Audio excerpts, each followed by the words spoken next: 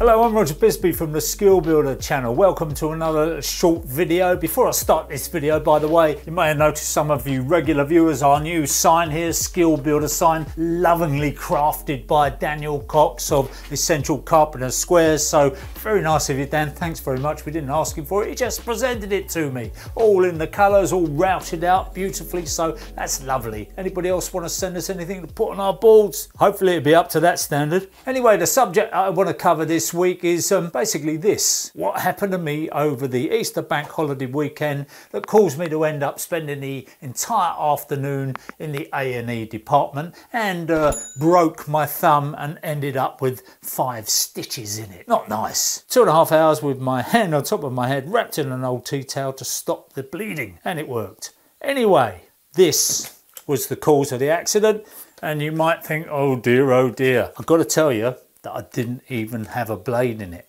I lent this saw to somebody, I won't say who, and when I got it back, I couldn't get the blade to go in for some strange reason. I put a squirt of WD-40 in the blade holder and uh, I thought that might help it, but it didn't do the trick. So I then proceeded to try and shake it out and thinking there might just be a small amount of the old blade stuck in there. Maybe it snapped when they were using it and they left a bit in there. I don't know. Anyway, it, I couldn't get it in. So I started messing around and um, what I did, stupidly, I always say that the most important bit of PPE you own is your brain. If you engage your brain, you could avoid an awful lot of accidents. And unfortunately, in this particular case, I didn't engage my brain. Call it old age, call it fatigue, whatever you like. But uh, I did the most stupid thing imaginable.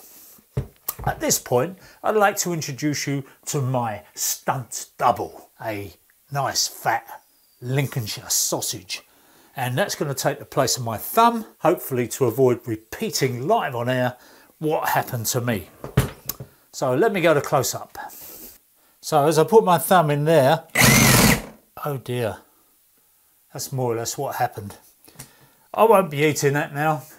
so I took one look at my poor old thumb and I could see that it was in a pretty bad way and that it would need stitches. So wrapped it up in a tea towel and my wife drove me to hospital. What they said to me actually was quite interesting. They said that because it was a fracture, I didn't think it was broken, but the, the nurse very astutely said to me, I'm going to send you down for an x-ray because it could be broken there because it's quite a bit of impact.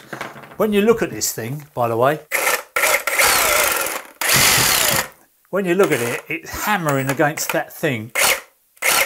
Very, very hard and very, very quick. And anything that's between that, anything, excuse me, I'm nervous of this thing now, anything that's between there and that shoe, there's nowhere else for it to go other than through the shoe, which is what it did. And without wishing to go into too many details, what they said was that because it was an open fracture, because it was fractured and it was also cut, there is a very real chance of infection getting into the, the bone. So they were going to send me down to East Grinstead Hospital, which are the specialists and all that kind of thing. They're very famous for doing uh, plastic surgery, cosmetic surgery, burns victims, all that kind of thing, all end up at East Grinstead. And um, they were going to send me down there, but they sent some photographs down to East Grinstead. The people at East Grinstead had a look at it and they went, do you know what, we think it's okay, wrap it up, make sure he doesn't get any infection in it and uh, I've got to keep it clean. It doesn't look very clean there, does it? But I just keep wrapping a new bandage around there. So long as I don't get it wet, it'll be fine. And um, I've got another week of messing around like that before I can have the stitches taken out. But it could have been a lot worse, couldn't it? I could have had the blade in there and done something stupid, but I think I was lulled into a false sense of security because you think, oh well, there's no blade in there. What could possibly go wrong? There's a salutary lesson for us all. It can happen to anybody at any time. All accidents are stupid. You kick yourself afterwards, you think, why didn't I see that coming? Anyway, I'm Roger Bisbee. Stay safe and uh, don't do what I did and join the statistics of all those many, many people who were injured over bank holiday. It always happens, and um, quite honestly, our National Health Service doesn't need idiots like me, does it?